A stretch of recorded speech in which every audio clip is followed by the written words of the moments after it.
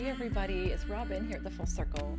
We're going to talk about yoga for evening peace right now because I think it's going to be really helpful to create an evening routine where you can unwind and truly enter into a deeper sleep than you might without uh, an evening or bedtime routine. So, so often, tell me this is if this is you. So often, what I do is I put my kids to bed, and sometimes they, they're not in bed till about eight o'clock, and then I need to be in bed by 9:30 so I can get up early in the morning for my morning routine.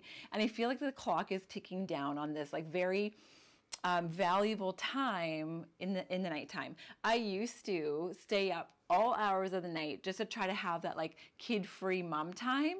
I would stay up till 11, 12, 1 o'clock, but I would wake up feeling like a bag of yes shit, a bag of crap.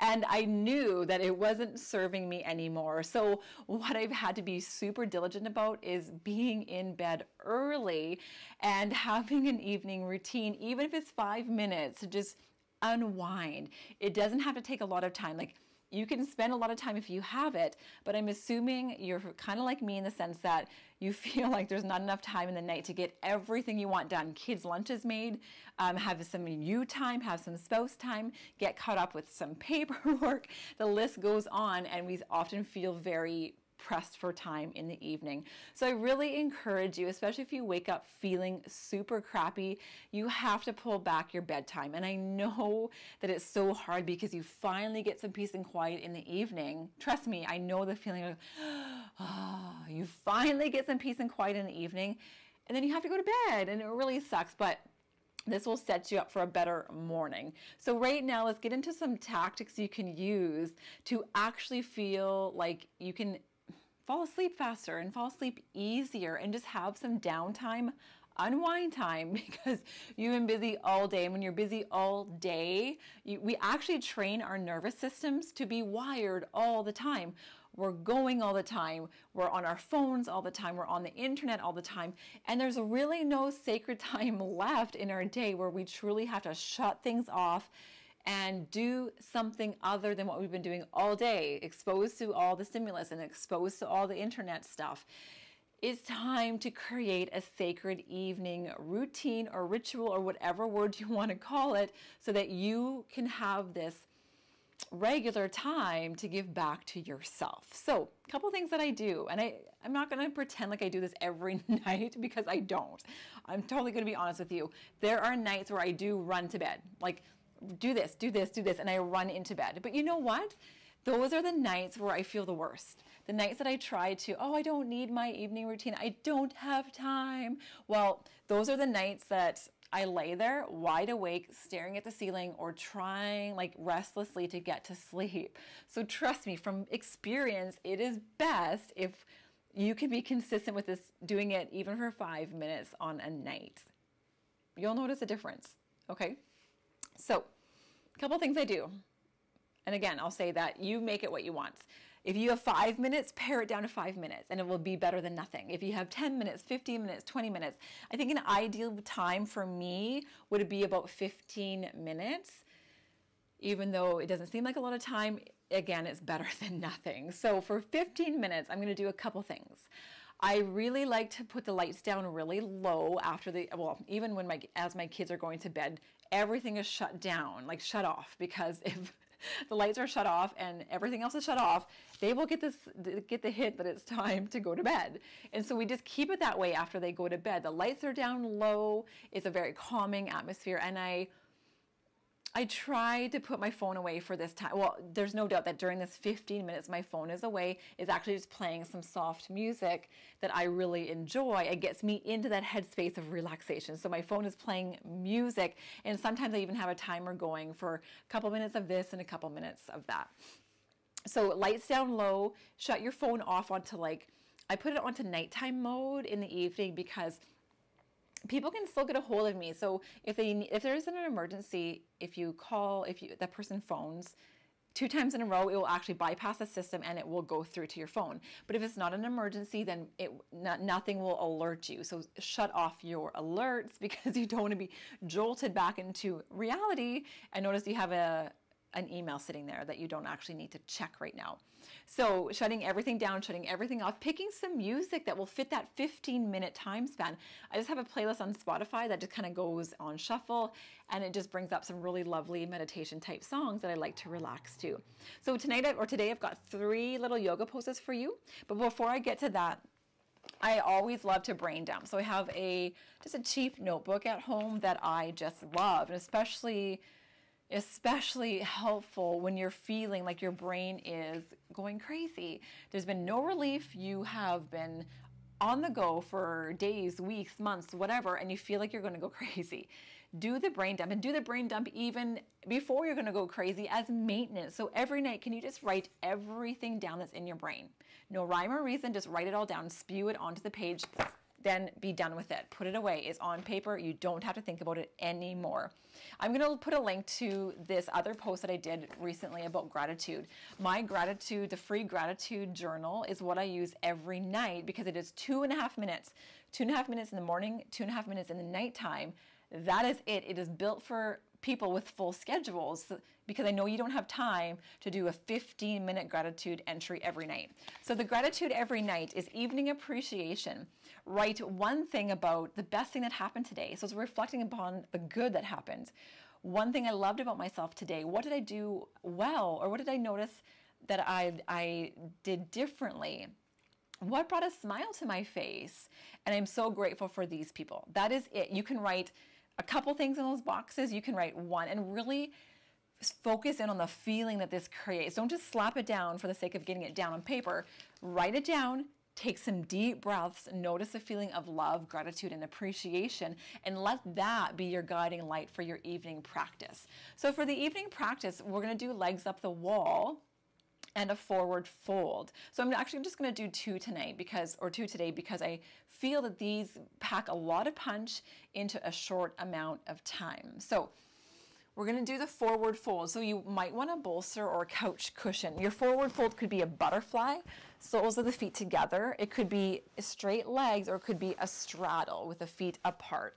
Doesn't really matter. I like butterfly I don't know why, just my preference. So soles of the feet together. Your feet are a little bit further away from you. Don't try to jam them into your body, but take them a little bit away from you. And that will create like just a softness in your back. So with your bolster, I love these things. I use it all the time. It's such a great investment. You're gonna fold it, like just fold it in half and rest your body. You want to create space in the upper body to rest into so that you're not rigid and tense like you've been all, you've probably been all day. So your forearms can rest down, then your head comes down. Now, if you're really tight, don't worry about it. You're just going to st- you're just to stay more upright and try to find some rest and relaxation in the upper body. So the legs, you're not going to go for the deepest stretch. You're going to be here for. I like to set my my timer on my phone for about 2 or 3 minutes, whatever I have time for. But bringing your forehead down and curling yourself in, closing your eyes is a very obvious sign to your body that it's time to unwind, that it's time to come inward and release all the outward distraction that, distractions that we've had coming at us all day. In this one, I like to breathe into the backside of my torso. So I'm going to take some really deep breaths with the intention of filling my entire back. So I'm going to feel the back of my lungs, the back of the rib cage expand as I inhale and deflate as I exhale.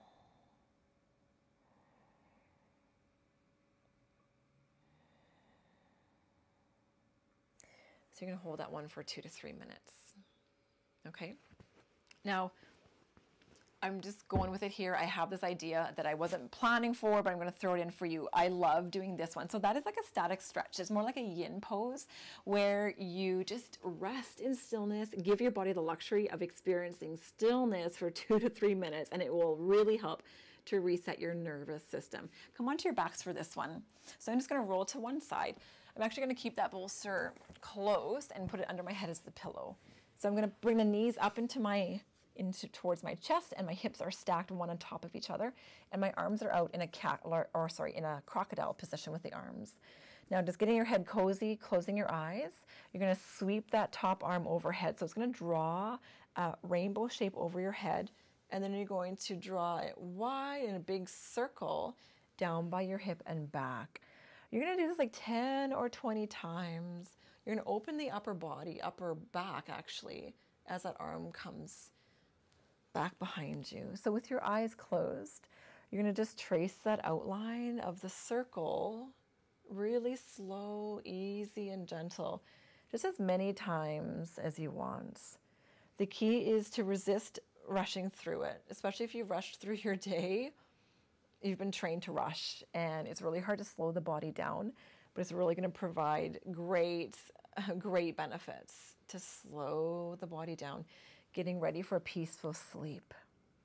Okay, you're going to then turn to the other side and do as many circles on the other side. The last one we're going to do is legs up the wall with a strap. So you're to inch your way over to your wall. You're going to take your strap around your shin. So it's going to come to the fleshy part of your calves below your, the back of your knees.